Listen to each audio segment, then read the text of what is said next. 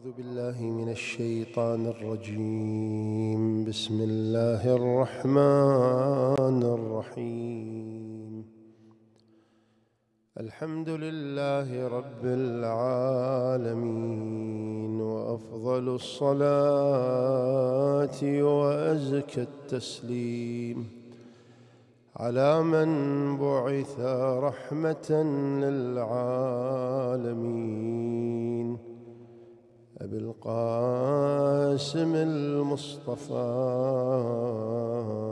محمد وآله الطاهرين. اللهم صل على محمد. صلى الله عليك يا سيدي يا رسول الله وعلى أهل بيتك المظلومين. صلى الله عليك يا سيدي ومولاي يا أمير المؤمنين. يا رحمة الله الواسعة ويا باب نجاة الأمة. ما خاب سيدي من تمسك بكم وأمن من لجأ إليكم فيا ليتنا كنا معكم فنفوز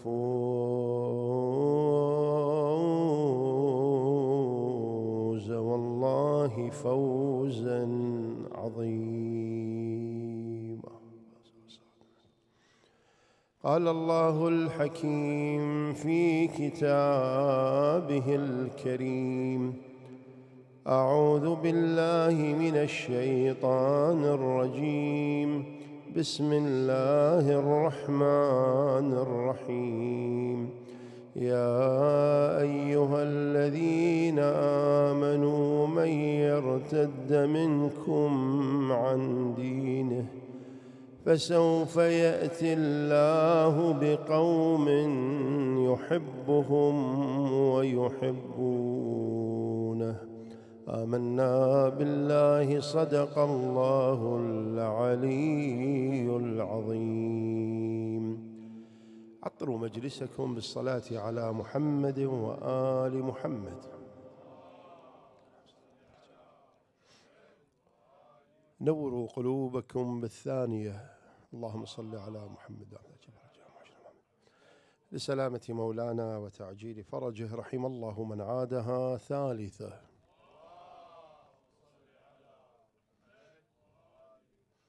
انطلاقا من هذا المقطع من الآية الشريفة نقف عند عنوان من العناوين المهمة والجميلة أيضا وهو عنوان يحبهم ويحبونه. وخصوصا في مثل هذه الليالي ليالي القدر الشريفة نجد بأن الإنسان المؤمن يطمح إلى أن يصل إلى مرحلة بحيث أنه إذا دعا الله أجابه الله وإذا سأل الله عز وجل أعطاه الله سبحانه وتعالى. فكيف يصل الإنسان إلى هذه المرحلة؟ في البدء حينما نأتي إلى هذه المسألة نجد بأن الله سبحانه وتعالى حينما يتحدث عن العلاقة المثلى التي تربط العبد بربه سبحانه وتعالى يقول بأن هذه العبادة قائمة على أساس الحب بحيث أنه ماذا؟ يحب الله عز وجل والله سبحانه وتعالى أيضا شنو؟ يحبه فكيف يصل الإنسان إلى هذه المرحلة؟ حينما نأتي إلى الروايات التي تتحدث عن هذا الأمر تبين بأن العبد المؤمن إذا وصل إلى هذه المرحلة فهو أفضل مراحل عبادته لله سبحانه وتعالى. روي عن أمير المؤمنين سلام الله عليه أنه قال إن قوما عبدوا الله خوفا فتلك عبادة العبيد وإن قوما عبدوا الله طمعا فتلك عبادة التجار ثم قال وإن قوما عبدوا الله حبا فتلك عبادة الأحرار. حينما تكون علاقته قائمة على أساس الحب مع الله سبحانه وتعالى فهذه أفضل عبادة يقوم بها الإنسان المؤمن لربه سبحانه وتعالى.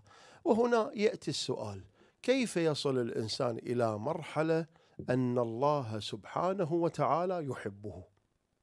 أنت الآن لو تسأل أي مسلم تقول له أتحب الله سبحانه وتعالى؟ الجواب الطبيعي شنو؟ نعم أحب الله. زين لما تسأل وهل يحبك الله عز وجل؟ أنت تحب الله الله عز وجل. هل يحبك أنت كشخص أو ماذا؟ ممكن؟ نعم ممكن نعم وممكن شنو؟ هو يقول لك والله ما أدري العلم عند الله سبحانه وتعالى. لكن أنا أحب الله عز وجل. في الواقع حينما نأتي إلى هذه المسألة القرآن الكريم والروايات تشير إلى أمور من خلالها يستطيع الإنسان أن يميز نفسه أنه محبوب لله عز وجل أو لا. الأمر الأول الذي تذكره الآية المباركة حينما تقول والخطاب على لسان النبي صلى الله عليه وآله قل يعني يا رسول الله قل إن كنتم تحبون الله. هذا الادعاء مو صحيح؟ وين البرهان؟ قل هاتوا برهانكم إن كنتم صادقين. وين البرهان؟ قال قل إن كنتم تحبون الله فاتبعوني يحببكم الله. آه فإذا الله عز وجل جعل أمرا هذا الأمر متى ما طبقه الإنسان على أرض الواقع نتيجته شنو؟ يحببكم الله. شنو هذا الأمر؟ الكل يدعي حب الله عز وجل لكن في كثير من الأحيان نجد أن هذا الحب مدعى لا برهان عليه. لذلك في أبيات تمثل بها الإمام الصادق صلوات الله وسلامه عليه قال تعصي الإله وتظهر حبه هذا لعمرك في الفعال بديع. لو كان حبك صادقا لأطعته. إن المحب لمن يحب مطيع. فاذا يدعي الإنسان حب الله عز وجل. لكنه للأسف يعصي الله نستجير بالله. لا يطيع أمر الله عز وجل.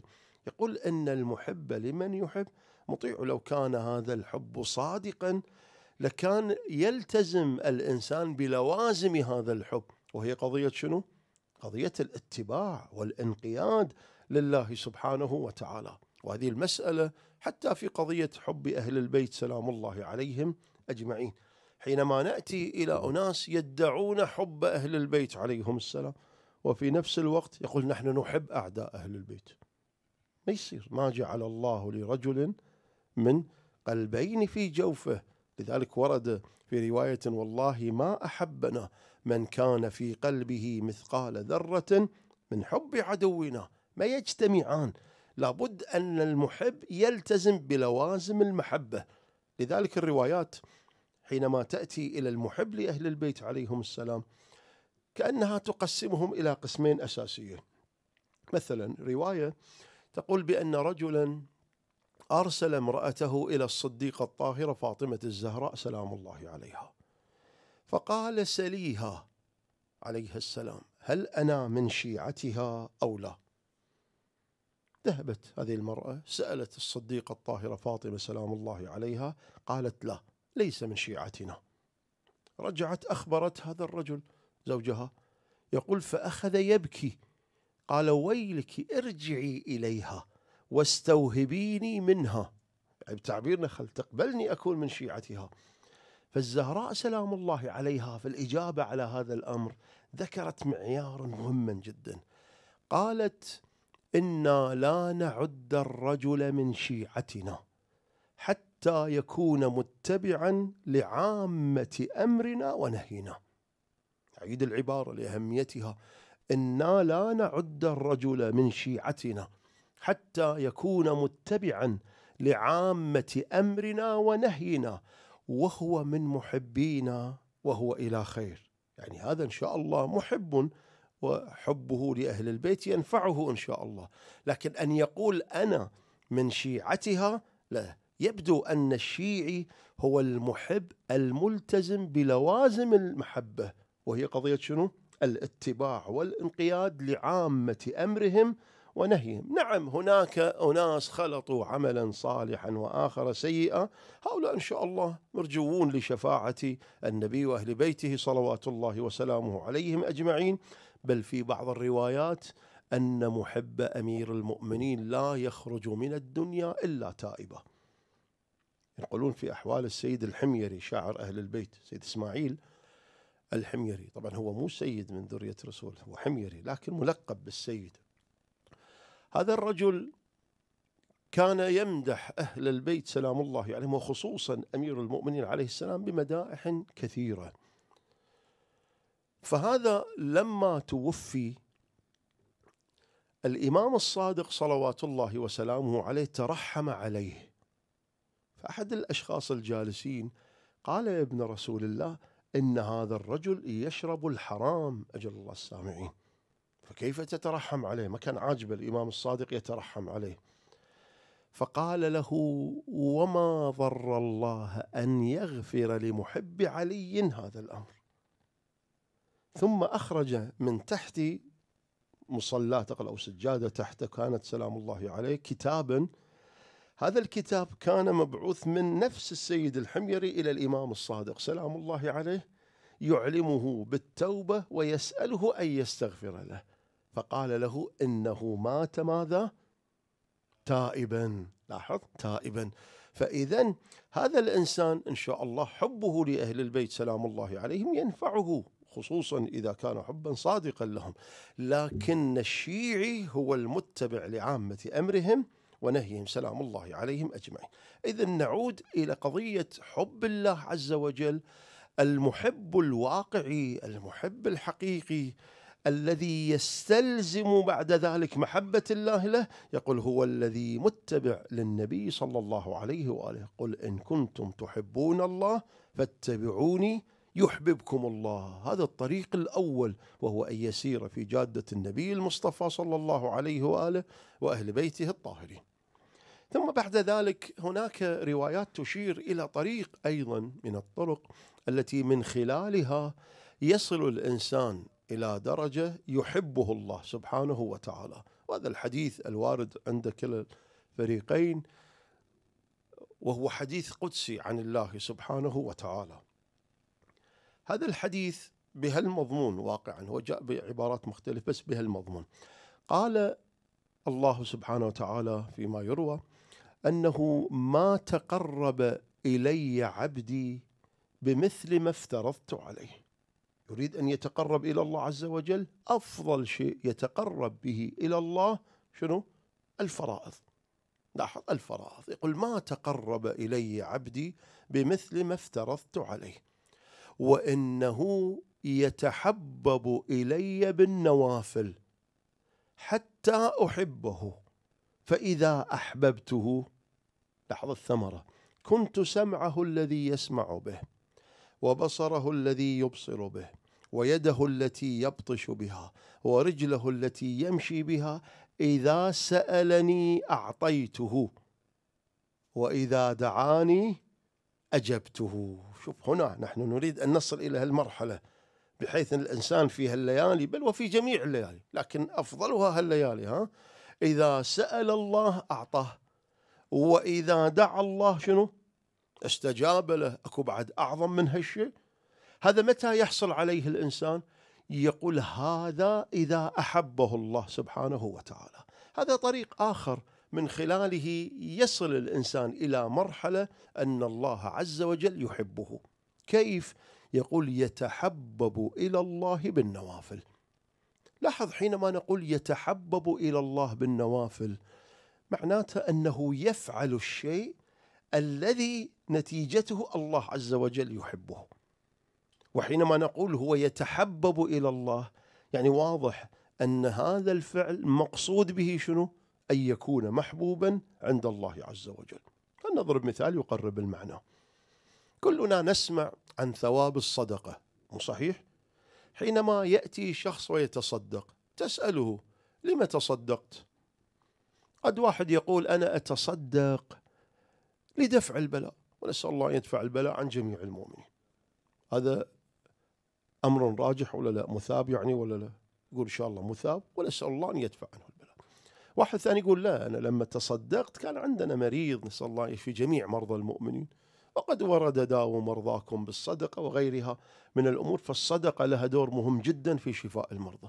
يقول أنا كنت قاصد له إن شاء الله هم يثاب ونسأل الله يشفي جميع مرضى المؤمنين. واحد ثالث يقول لا أنا تصدقت مو بهالنية. لماذا؟ يقول أنا ورد رواية عن أمير المؤمنين سلام الله عليه يقول إذا أملقتم فتصدقوا. يعني تاجر مع الله عز وجل لما يكون الإنسان أملق يعني شنو؟ يعني وصل مرحلة أنه يده ضيقة فقير أفلس بعد. يقول له روح تصدق. كل أمير المؤمنين أنا فقير أروح أتصدق يقول إيه لأنها الصدقة تجارة مع من؟ مع الله سبحانه وتعالى.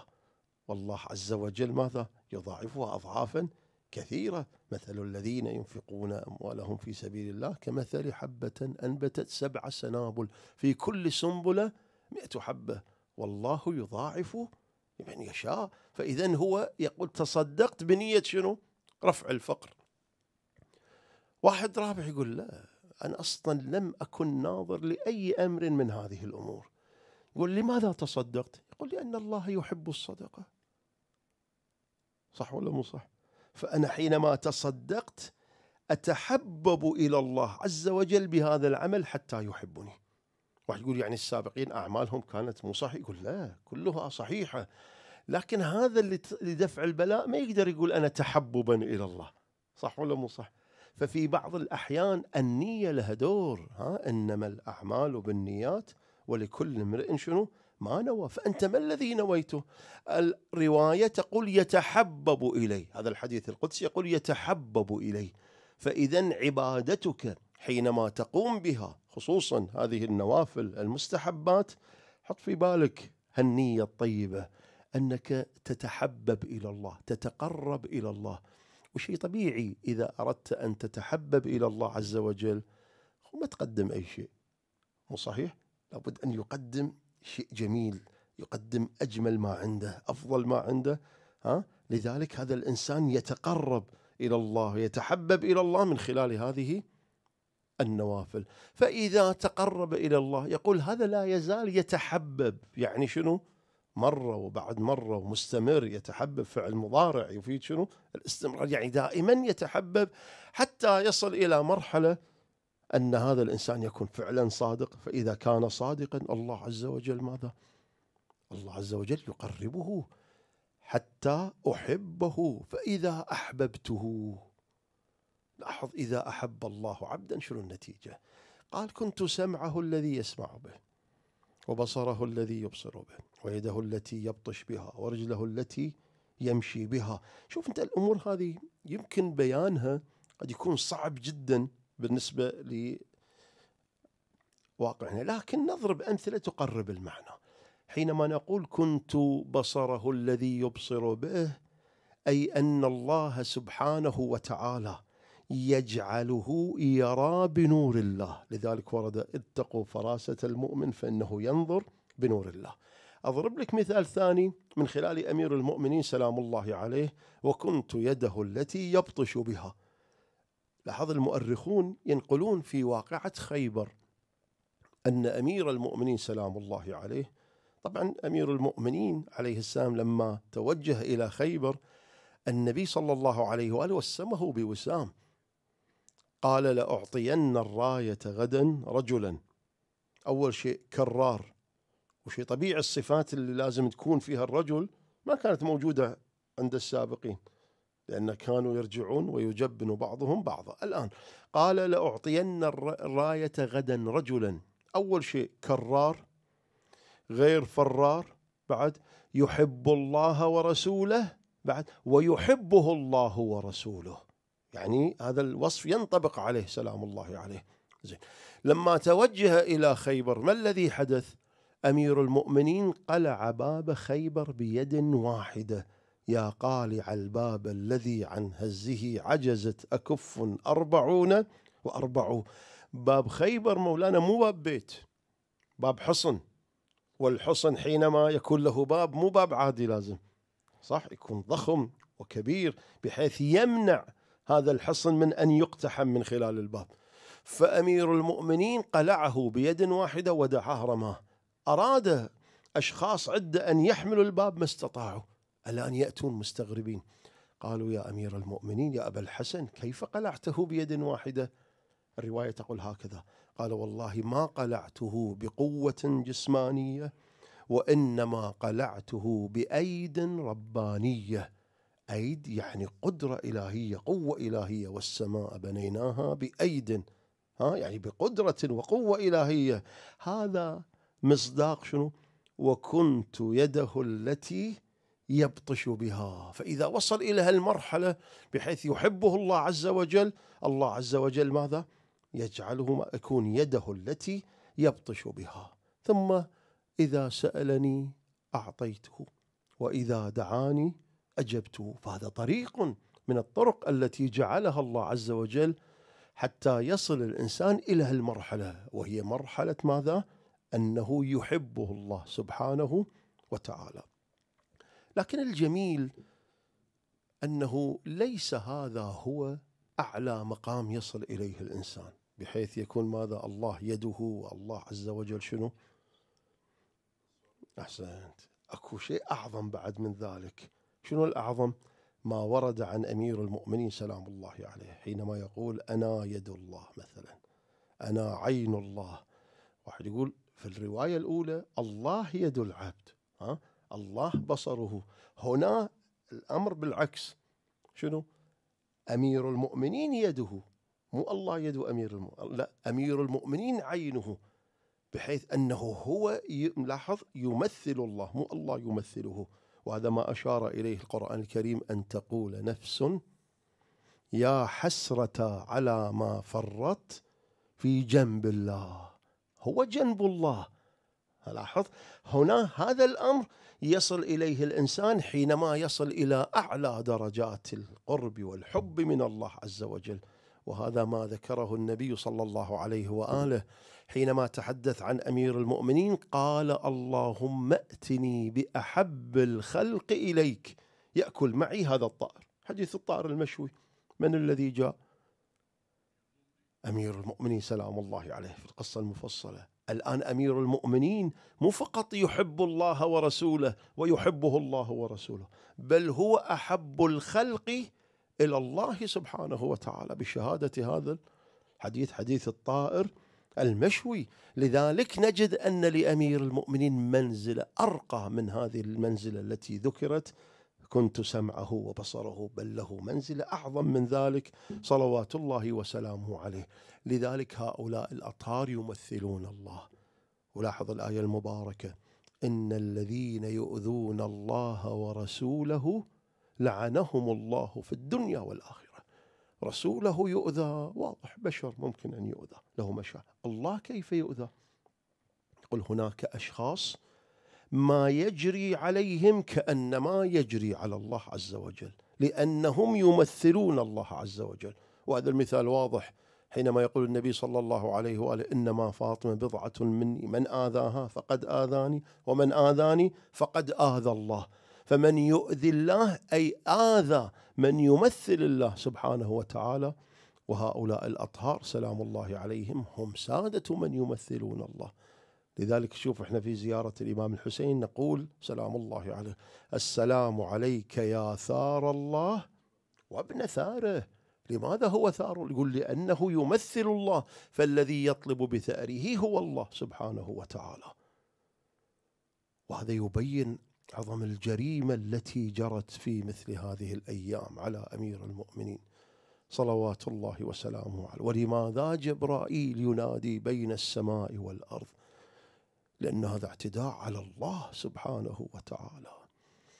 نعم في مثل هذه الليالي أي ليالي اللوع والألم على أمير المؤمنين. محمد بن الحنفية يقول بتنا ليلة العشرين وجلين على أمير المؤمنين. سلام الله عليه. ما الذي حدث؟ يقول جاءوا بالجراح السكوني لأمير المؤمنين. سلام الله عليه. هذا الجراح يريد أن يسبر غور جرح أمير المؤمنين عليه السلام. أمر بشاة ذبحت استخرج منها عرقا. يقول فجعل هذا العرق في جرح أمير المؤمنين سلام الله عليه. يريد أن يسبر غورها.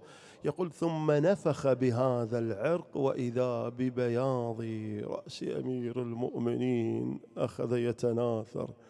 ونادى السكون قال لأمير المؤمنين يا أبا الحسن اعهد عهدك وأوصي وصيتك فإن السيف مسموم وقد وصل إلى أم رأسك أيوا سيدا وإماما. علت أصواتهم بالبكاء والنحيب. والله الليل القلب يجدح لهيبه الليل ابن هاشم امست بريبه. والله الليل الحسن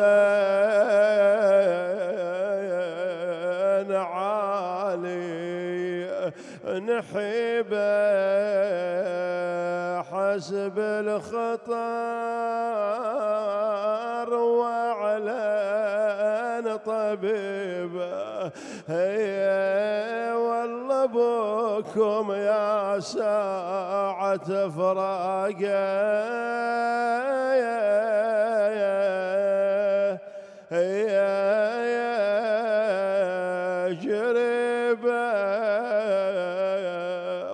الخبر إلى زينب بنات أمير المؤمنين. أرسلنا إلى الحسن يردنا أن يرينا أباهن. وفعلا الإمام الحسن أمر الناس أن ينصرفوا وأخل المجلس لزينب. جاءت الحوراء جئنا بنات رسول الله. هنا زينب تنظر إلى أبيها. وتنظر إلى أخيها الإمام الحسين. تقول له يا حسين يا ولينا. يا خويا شلون أبونا وشاف عرق يرشح جبنا كان حالته اليوم زينة يقلها يا زينب يا حزينة. والله خبرك خبر لا تظهرنا. والله كان والدي يروح؟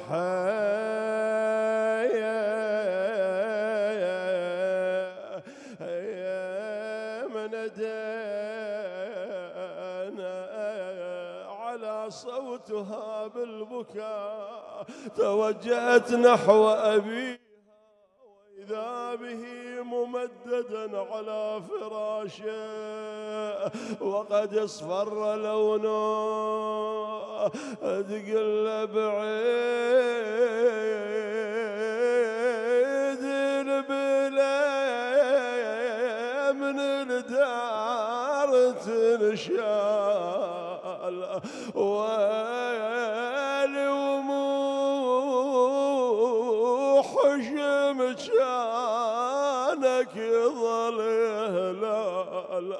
يا ريف اليتامى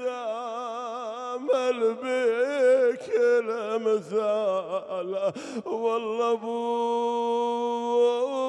ابويا يتاماك وعيالك ظلت تنوح بدمعها همال تقل ابويا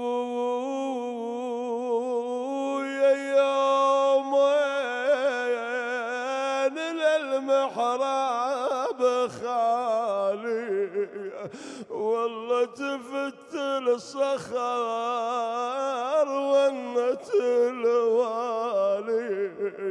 بلوعة بحرقة يحاولون أن يسكتوها يصبروها. تقلهم مش كثر بي حلوة الليالي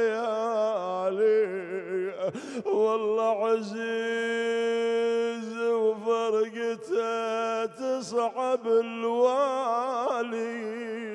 أنا على أبوي اللي شيم قلبي وتاه بالي. والله على أبوي اللي شيم قلبي وتاه.